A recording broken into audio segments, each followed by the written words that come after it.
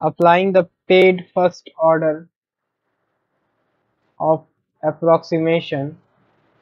which is e to the power